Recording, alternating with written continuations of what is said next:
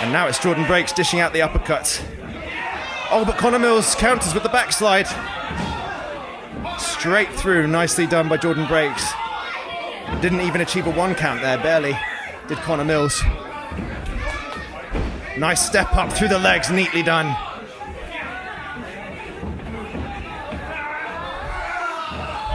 Nicely done out of the double wrist lock there.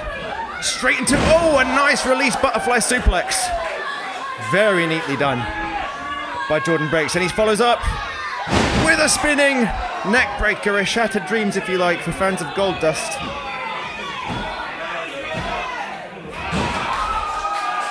True grit, Connor Mills living up to his name there. True grit.